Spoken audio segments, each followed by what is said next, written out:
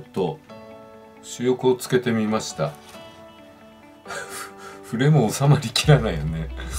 うーんまあこんな感じです。で裏側。えー、まあ側面と仮面の色の違いこんな感じですね。もしかしたらビデオの絵の方が白っぽく見えるかもしれない。今モニター見てるんですけど。モニターの色よりも若干暗いかな。でこれにあのー、上面と同じような模様ですね。この模様カビ模様。カビ模様を白で今度は白で入れていきます。で色自体はあの隠蔽力考えて えと GX1 のクールホワイトですね。隠蔽力の強い白。これを使ってみますね。もうあのねかなりあのなんて言うんだろう。あの、思いつきです。ほぼほぼ思いつきのことやってます。なんていうのかな。あの10年20年作ってなかったじゃないですか。だから今のそのなんていうのかな主流？主流っていうかやってる内容っていうのがあんまり情報としてないので僕の中に。断片的なものはまあネットなんかでね。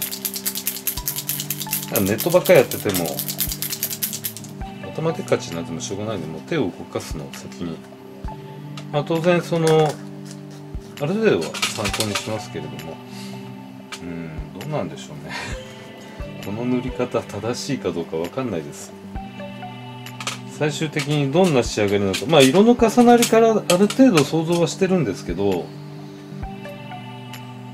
実際どうなっていくのかなっていうのはここで白を使っちゃっていいものかどうか。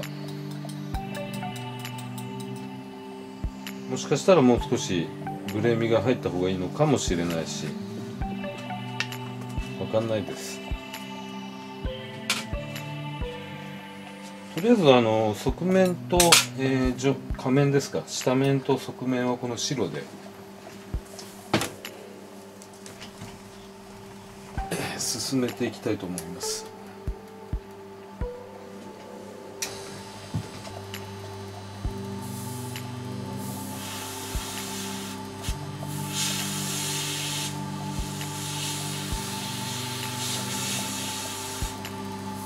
パネルライン入れちゃったんでパネルラインにはかからないよう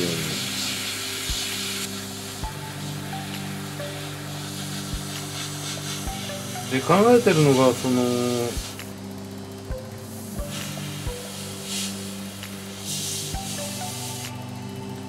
側面？機体の方の側面のこの白の度合いをちょっと減らしてやろうかなと。この気持ち。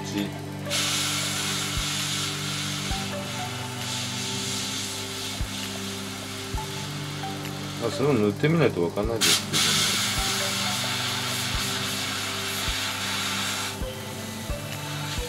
けど、ね、想像しながら。塗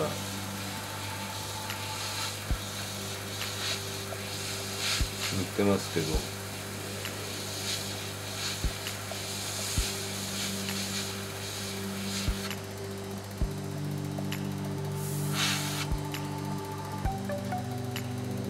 れどうなのかな？どうなのかな？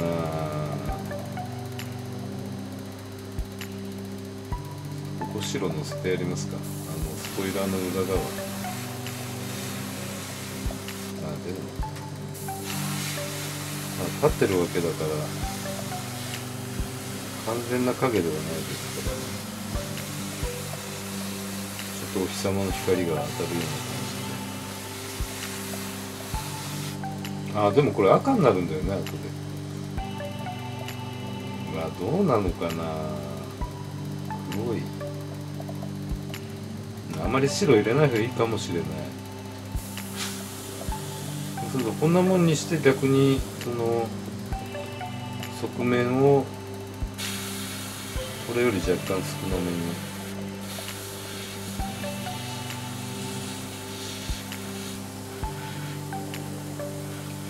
でよく言うその気流の流れはこの段階ではまだ考えないでおきます。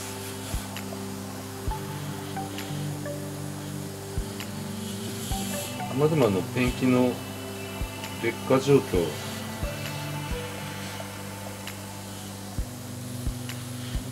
退色とはねまた違うと思うんですけど退色はあのわゆるペンキが白くなるやつなんでなんて言うんだろうな退色一部退色かな。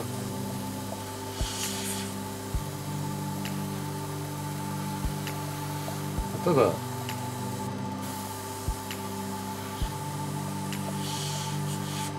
白く塗ってるやつが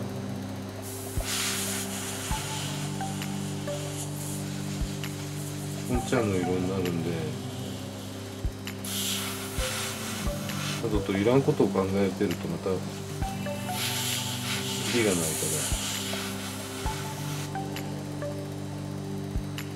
ら。まあこんな感じですかね。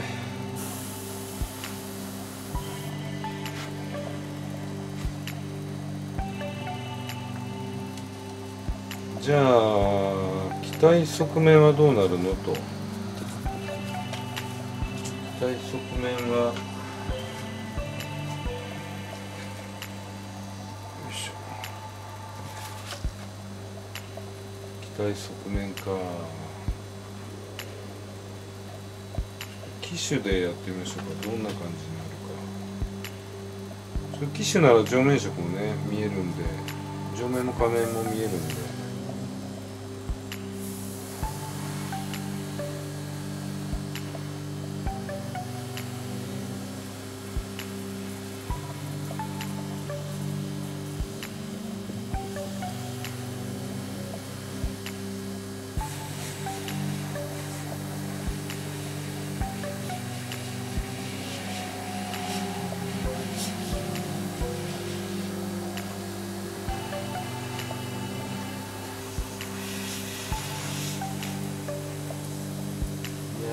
密度に差が出るなやっぱり。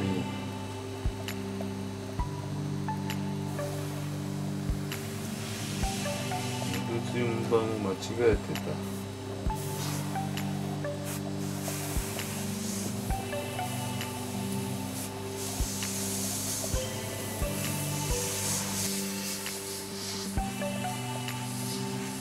どうしてもあのパネルがちっちゃいんで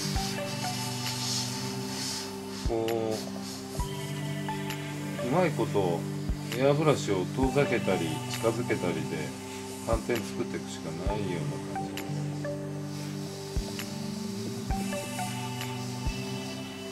でないとあのパネルがパネルラインが消えちゃう。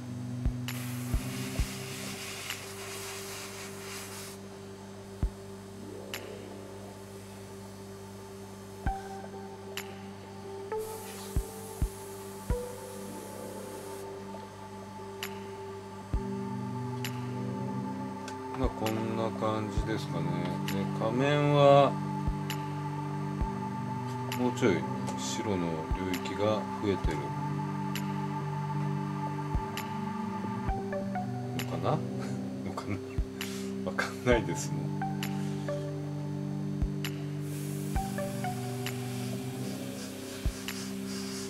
そうですね。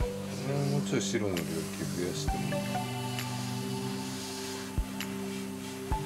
なんとなくうっすらとこのレドームのこの V の部分うっすらと、まあ、違いがあるといえばありません。やっぱり下のベースになってる色が違うんで。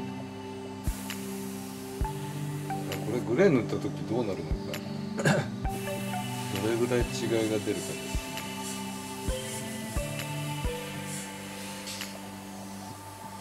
あとはパネルラインがどの程度残ってくれるか。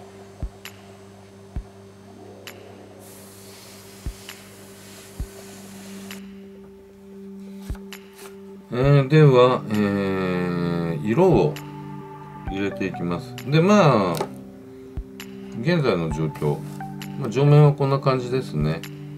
で側面は、まあ、この機種のこの横の部分の色、えー、若干白い。このレドームの部分がちょうど色違いになってますよね。この違いです。で仮面がさらに白く。でなんだっけ。この霧状のもやもやもやもや塗りのもやってやっぱり霧ですよね。もやですよね。えー フォギングペイント、うん、このフォギングペイントなんだろう。あの側面と仮面あまり違いが出なかったんで仮面の方下面の方はあのー上から全体にふわっと白をフィルタリングということで入れました。なのであのパネルラインがちょっと色が薄くはなってるんですけどもね。まあこれでもいいかな。ちょっと塗ってみないとわからないです実際にグレーを。まあどどの程度グレーを塗るかなんですけど。で今からあの行うのが何がいいかな。写真なんか見るとねこれ僕だけかな。どうなんだろうな。あの写真はちょっと特殊かもしれないんですけど実物もどうなんだろう。あのグレーという色赤っぽいところ赤っぽく見えるところとかありますよね。ないですか？僕見えちゃうんですけど空なんか見るとピンクの点が見えるって病気かな。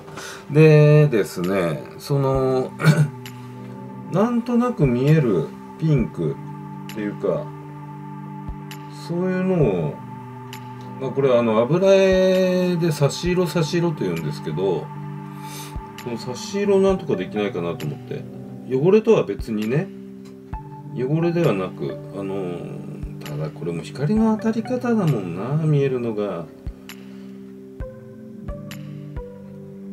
どうなんだろう。影とそうですね光の当たり方ですね。あの影とね光の当たってるところの間境界。だからちょっとね模型では無理かやっぱり。うんなんかこう差し色みたいなのやりたいんですよね。どっかにちょこちょこっとそんなピンクっぽいの。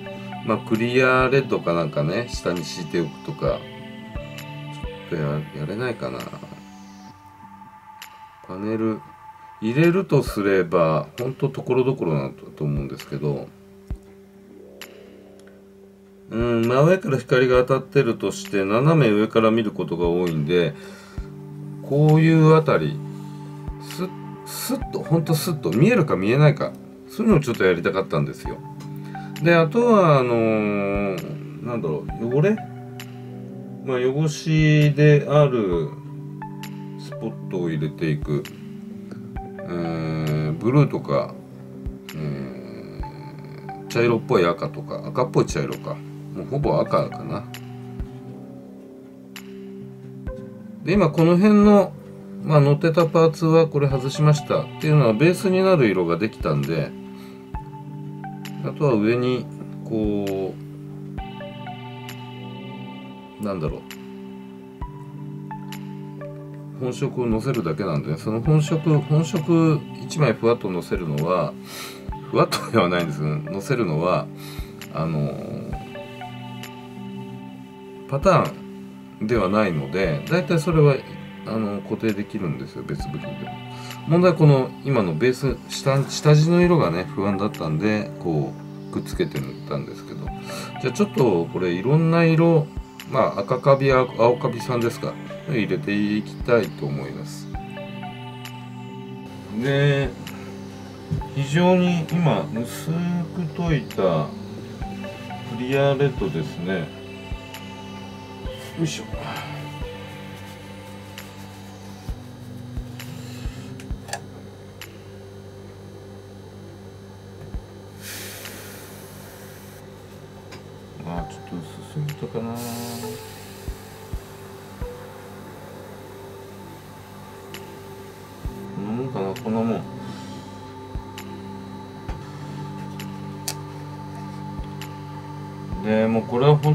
んだろう。どうなのかなという方法なんで。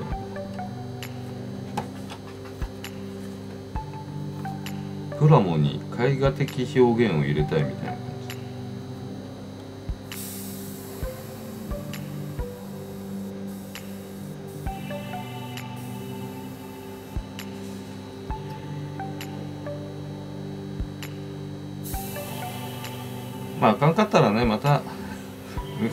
から塗り重ねればいいんで。多分ね見えない。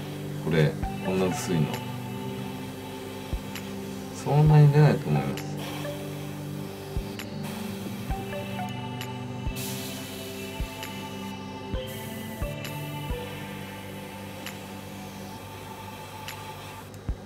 今片面だけ。ほとんど分かんないでしょ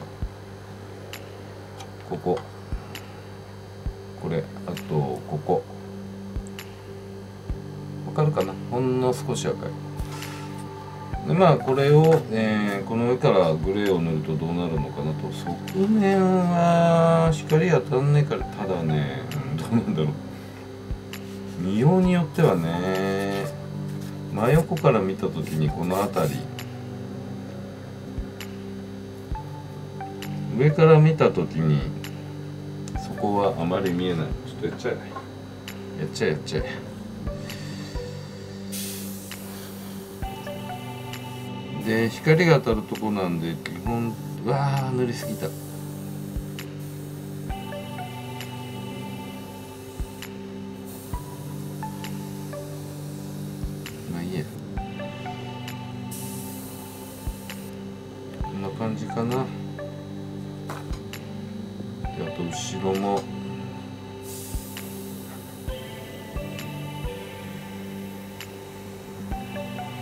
幅が広すぎたかもしれない。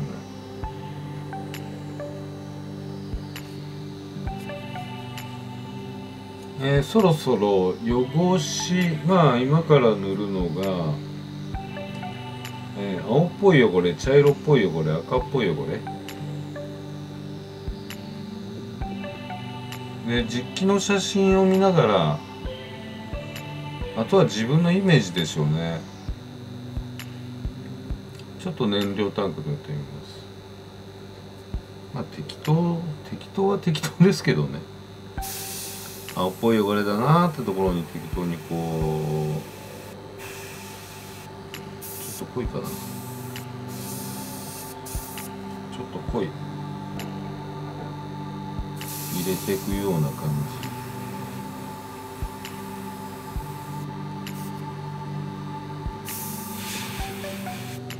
これはもうところどころですね。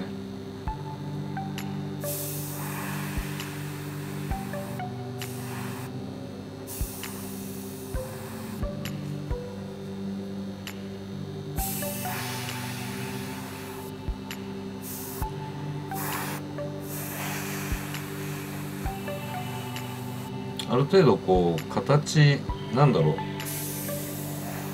例えば三角、まあ、三角はどう？どうなのかな？まあいろんな汚れの形があると思うんで。センス。これはもうセンス。イメージ。であのー、なんだろうな。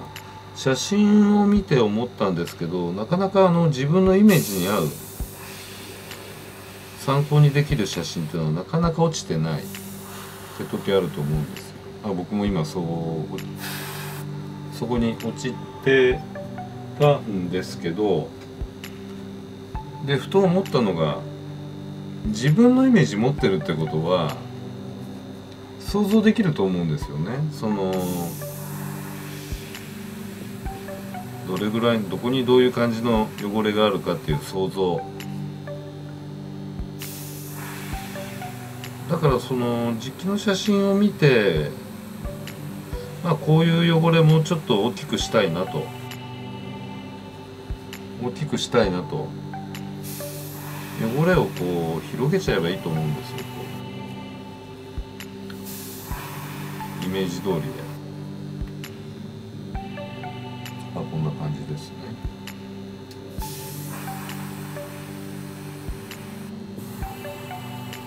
イメージ持ってるってことはいくらでも想像はできると思うんで。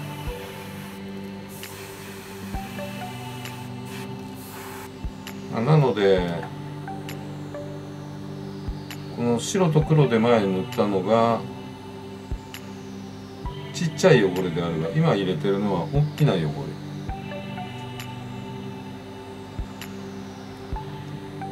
という感じですかね。まあ、当然あの複数の写真見ながらやっていけばいいと思います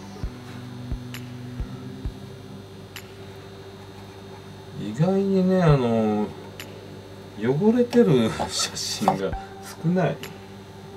汚れてる機体が少ない。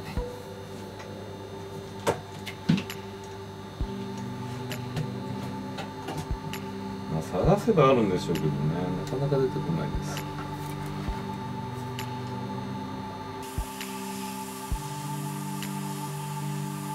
まあ後であの油絵の具とかで最終的な汚しも入れるんでなんていうのかな。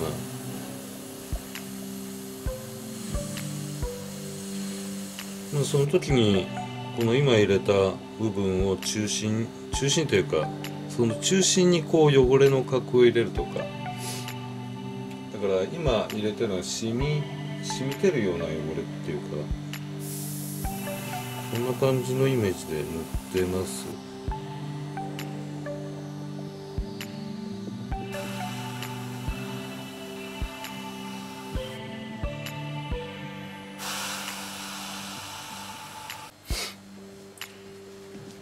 で次は赤赤。こんな色。赤というか茶色。鑑定色鑑定色じゃねえよ。鑑定色にあ1個忘れてる。鑑定色にあのー 赤の色の元の赤。ちょっと入れた色ですね。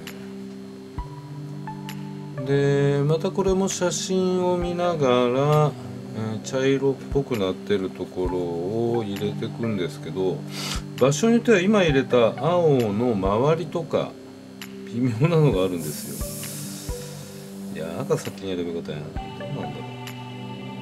できるのか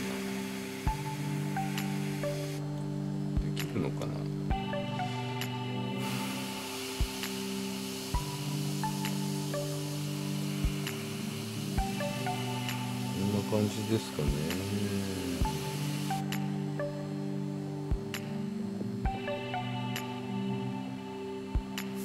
で青の上に赤を重ねれば黒くなります。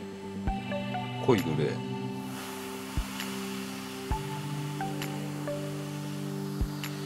バランスこれもバランス見ながら適当にですよね。こんな感じですねこんな感じ。えーこの赤いところここは油汚れのつもりの赤。下塗りです下塗り。色がこんな感じですよね。でまああのーオキサイトレッドじゃなくてなんだ？鑑定色。鑑定色に色の元の赤を入れたのとさっきクリアを赤クリアレッド塗ったのとあんまり変わんないやっぱり。変わんないです。とりあえずこれを下塗りにしちゃいます。あとは、えーこの上に、えー気体色ですか？を塗っていくんですけど、えー年単とかも一応こんな感じの下地ですね。あパイロンはね油汚れは今の機械ってあんまりないはずなんであの全部電気式ですから感じですかね。キャンバスはまあキャンバス自体は色が変わるんでこれはまた違う塗り方というか、このこの色何にしようかな。ちょっと濃いダークグレーが入ると思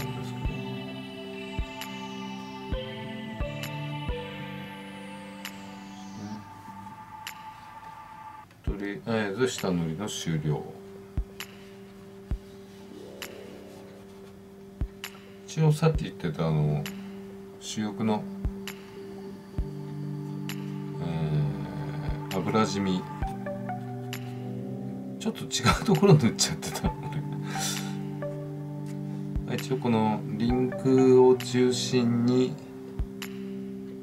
塗っていかなきゃいけなかった。違うところに入っちゃう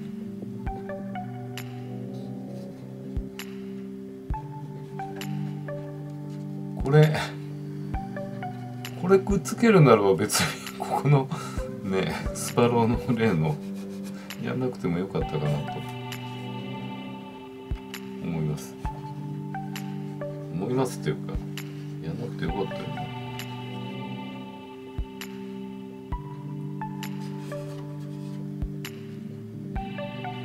まあだんだんだんだんなかなかかっこよくなってきた。汚くなって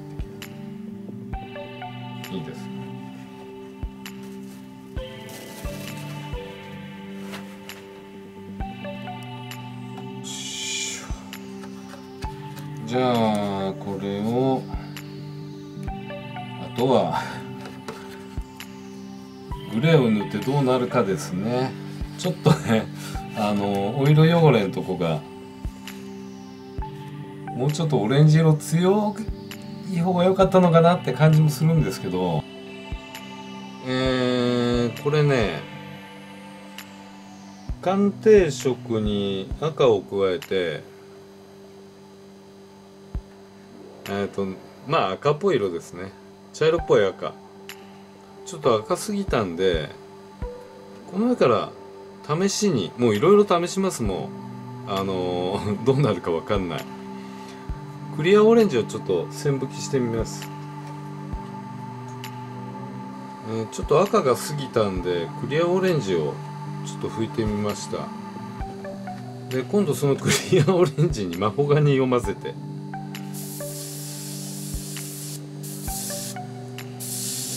結構いい感じの茶色になった。サビ色っていうかね。うー、どうしようかな。ちょっと濃いかもちょっと濃いですね。見えない色になっちゃった。リアニマスだから薄めたら。あこんな色です。こんな色。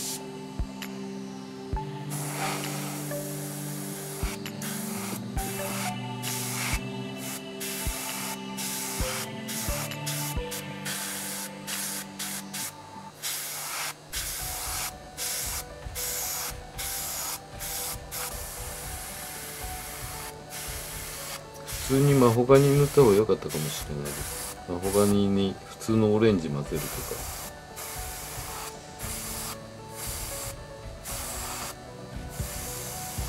ただまああのー、ここでオレンオイル汚れをつけてるんではなくオイル染みをつけてるだけなんでまあ多少多少つけてもいいかなという逃げ逃げの言い訳ですね。言い訳。結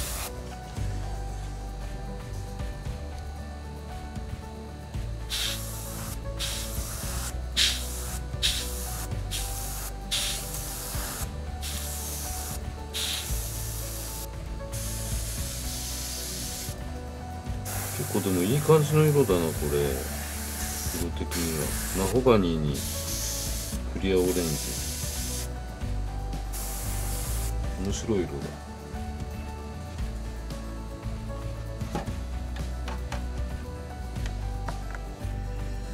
だ。じゃあ、あの次回は、えー、期待色を塗っていやこれ失敗したなの巻きになるかもしれないです。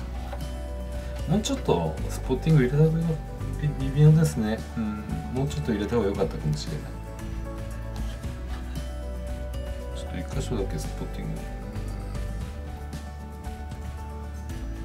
ここだけ ちょっと強い強いスポッティング。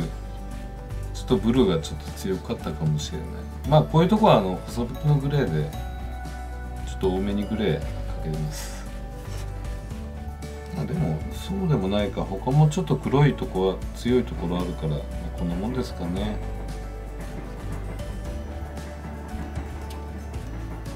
うん、ちょっとこの状態僕やってみます僕は、えー、じゃあ次回は失敗の巻きかな。